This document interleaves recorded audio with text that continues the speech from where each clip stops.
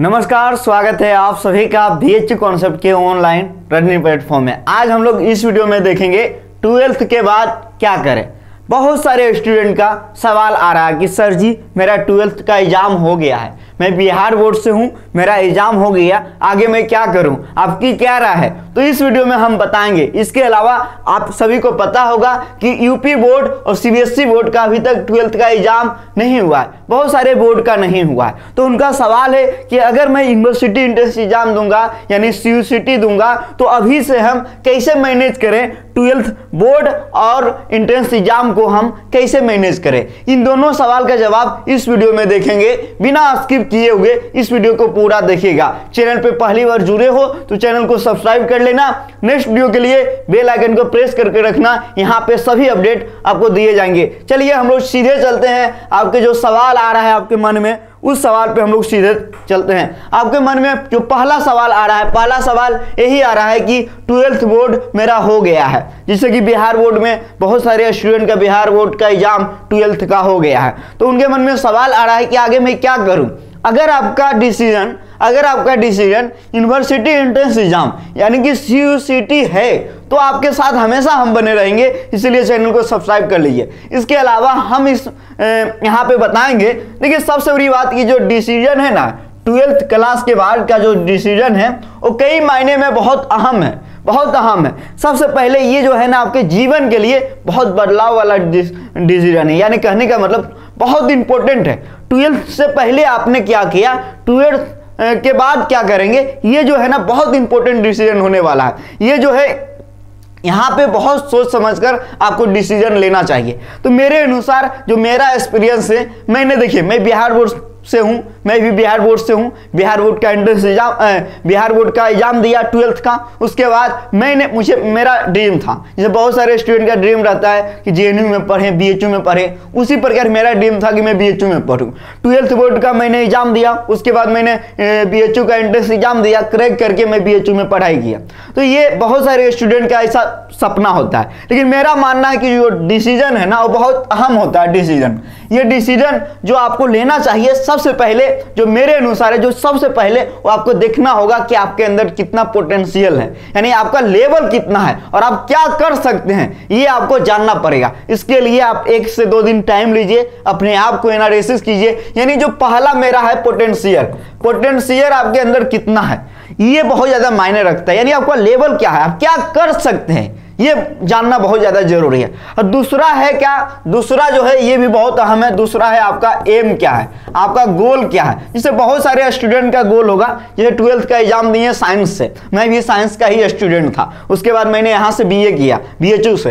तो बहुत सारे स्टूडेंट साइंस बोर्ड से हैं। तो उनके मन में सवाल आता है, क्योंकि कॉल अक्सर आता है कि, सर, मैं साइंस बोर्ड से हूँ। क्या मैं बीए की इंट्रेंस एग्ज़ाम की तैयारी कर सकता हूँ? बिल्कुल कर सकते हो। लेकिन देखो, यहाँ पे जो है, पहले आईएससी आईकॉम और आईए आईए यानी कि जो ट्वेल्थ होता है वो तीन स्ट्रीम में होता है साइंस आर्ट्स कॉमर्स तो यहाँ पे बहुत सारे स्टूडेंट का जो एम होता है वो आईआईटीएन बनने का होता है। तो आप आईआईटीएन बनो आईआईटी की तैयारी करो बहुत सारे स्टूडेंट को सीए बनना होता है बैंकिंग के में जाना है। तो कॉमर्स से पढ़ा है एलेवन ट्वेल्थ तो आगे भी वो सीए की ए, मतलब प्रिपरेशन कर सकता है। यानी ट्वेल्थ बोर्ड के बाद बी बहुत सारे स्टूडेंट जो कि बी ए करते हैं उनका उनका उनका भी जो है उद्देश्य होता है कि मैं कंपटीशन एग्ज़ाम में जाऊँ। बहुत सारे कंपटीशन एग्ज़ाम है। यहाँ तक आप जानते ही हो एलएलबी भी आप लोग कर सकते हो बीए एलएलबी कर सकते हो।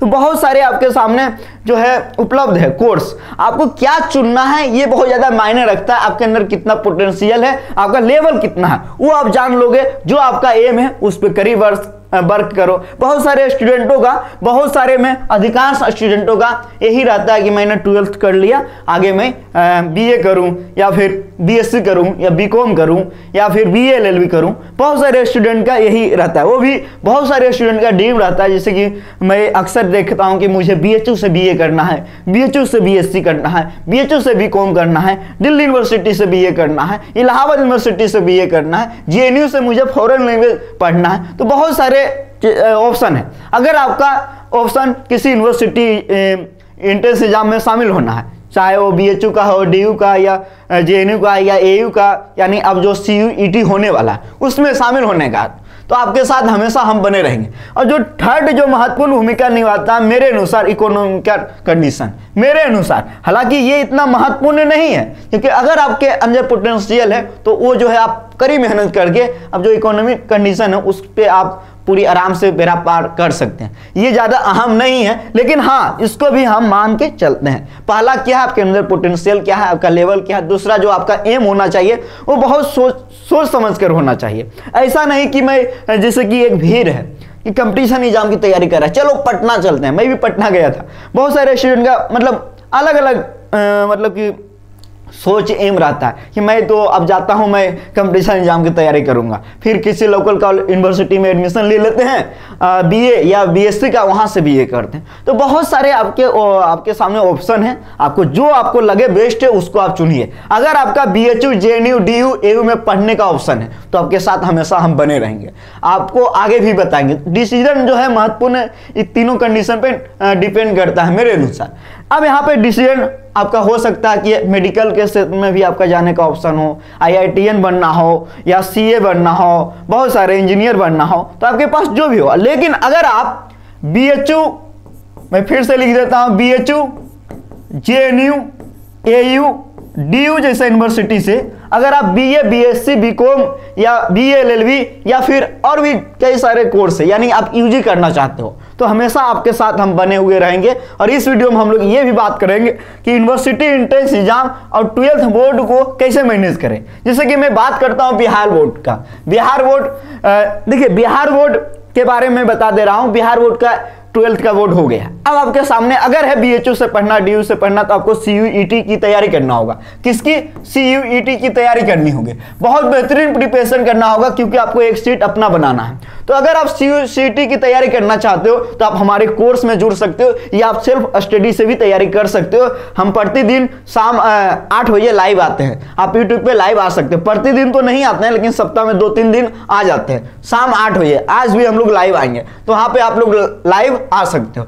मैं फिर से बता दे रहा हूँ ये बहुत ज़्यादा इंपॉर्टेंट है। अगर आप सी e की तैयारी करना चाहोगे तब। अब देखिए, अब सवाल ये रहा कि बिहार बोर्ड का एग्ज़ाम हो गया तो सी e की पूरा फोकस इसी पे देंगे। लेकिन जो स्टूडेंट यूपी बोर्ड से हैं, या सीबीएसई बोर्ड से है, या अदर स्टेट बोर्ड से हैं, उनका भी ट्वेल्थ का एग्ज़ाम नहीं हुआ। ट्वेल्थ का एग्ज़ाम नहीं हुआ। तो वो कैसे मैनेज करें? देखिए, बात यहाँ ये है कि आपके सामने 120 दिन है। मेरे अनुसार जो एंट्रेंस एग्ज़ाम में 120 दिन बचा हुआ है। 120 दिन आपके सामने है। तो 120 दिन बहुत पर्याप्त है, बहुत है। 100 120 दिन। आराम से आप तैयारी कर सकते हो एंट्रेंस एग्ज़ाम को करेक्ट कर सकते हो। लेकिन जिनका एग्ज़ाम अभी नहीं हुआ है ट्वेल्थ का बोर्ड, उनके सामने कम समय मिलेंगे। तो हो सकता है उनके पास दो ही महीना समय मिले। तो उनके सामने एक बहुत बढ़िया ऑप्शन है कि अभी से अभी से जो है ओ, एक से दो घंटा, एक से दो घंटा जो है सी के लिए दे, यानी कि यूनिवर्सिटी इंट्रेंस एग्ज़ाम के लिए दे। अगर आप किसी भी कोर्स में जुड़े हुए कहीं भी, किसी भी कोचिंग में तो आप उस, उनका कोर्स को बढ़िया से पढ़िए। बस पढ़ना है नोट बनाना है, उससे ज़्यादा कुछ नहीं करना है। लेकिन जैसे कि बिहार बोर्ड के स्टूडेंट का एग्ज़ाम हो गया है तो उनका पूरा फोकस अब रहेगा सी पे। पूरा टाइम देंगे। दिन भर में 10 घंटा भी पढ़ सकते हैं। पूरा बुक को पढ़ेंगे। जितना कंटेंट जाएगा, उतना रिवीजन करेंगे। और जो ट्वेल्थ बोर्ड में है अभी अभी जो ट्वेल्थ बोर्ड में है, उनके सामने ये है, ज़्यादा ज़रूरी है कि वो ट्वेल्थ बोर्ड पर फोकस करें। ट्वेल्थ बोर्ड पे अपना फोकस करें। अगर आपका अभी एग्ज़ाम नहीं हुआ तो ट्वेल्थ बोर्ड पे फोकस करें, अब जहाँ पे जुड़े हुए, जैसे कि आप बीएचयू कॉन्सेप्ट में जुड़े हुए। तो यहाँ से जो लेक्चर जा रहा है, उसको देखिए उसको देखिए, ताकि जैसे ही आपका ट्वेल्थ बोर्ड का एग्ज़ाम हो जाए, उसके बाद आप भी पूरा फोकस देंगे और लगातार वहाँ रिविजन करने में बहुत मज़ा आएगा। तो यहाँ मेरा मानना है कि एक से दो घंटा आप ज़रूर सी e के लिए दो। एक से दो घंटा सी e के लिए ज़रूर दो, क्योंकि बहुत ज़्यादा ज़रूरी है। और ट्वेल्थ बोर्ड पे भी फोकस करना बहुत ज़्यादा ज़रूरी है। आपके पास पर्याप्त समय होगा। तो इसके लिए आप सात से आठ घंटा समय निकाल सकते हो। क्यों नहीं? इतना आसानी से निकाला जा सकता है। मैं फिर से बता दे रहा हूँ कि ट्वेल्थ बोर्ड में कितना परसेंटेज होना चाहिए। तो अभी सी यू सीट कोई नोटिफिकेशन नहीं आया है। लेकिन जो बी एच यू का, जो कंडीशन था, वो बी एच यू का fifty percent fifty percent general के लिए, पैंतालीस परसेंट ओबीसी के लिए और एस सी के लिए चालीस परसेंट ट्वेल्थ में होना बहुत ज़्यादा ज़रूरी था। तो ये जो है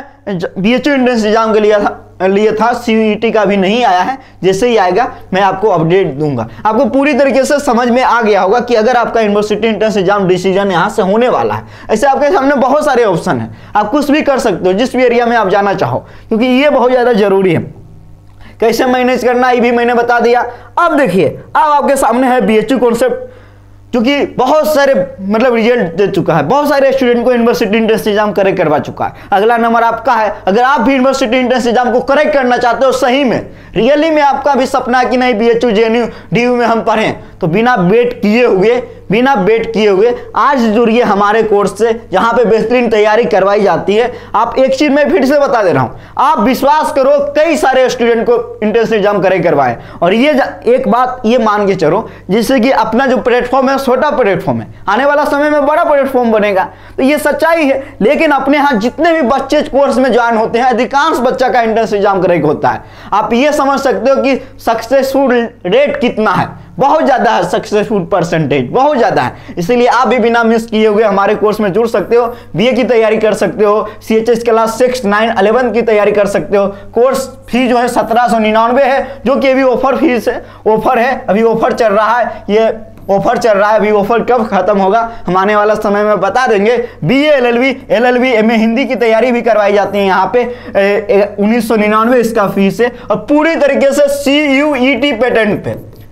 और जो हमारे कोर्स में जुड़े हुए हैं, उनको पता होगा, हम बहुत ज़्यादा डीप कंटेंट दिया जा रहा है। यानी कि सी हो एन टी एंट्रेंस एग्ज़ाम कराए, कुछ नहीं कर सकता, आप पढ़ोगे मन से तो आपका एंट्रेंस एग्ज़ाम करेक्ट होगा और आपका एक सीट होगा। देखिए आप जो है, हमारे एप्लीकेशन एप्लीकेशन है concept e learning play store पे जाके, प्ले स्टोर पे जाके, प्ले स्टोर पे जाके डाउनलोड कर सकते हो या फिर इस नंबर पे कॉल या व्हाट्सएप कर सकते हो। Seven three nine five zero five five one nine nine. Payment mode जो है एप्लीकेशन पे भी पेमेंट कर सकते हो या फिर फ़ोन पे गूगल पे से भी पेमेंट आप कर सकते हो। ये जो है पूरा कंडीशन रहा। अगर अभी आप ट्वेल्थ बोर्ड में हो तो ट्वेल्थ बोर्ड को ज़्यादा फोकस करो और एक से दो घंटा जो है, आप यूनिवर्सिटी एंट्रेंस एग्ज़ाम के लिए सी के लिए भी दो, क्योंकि बहुत ज़्यादा ज़रूरी है।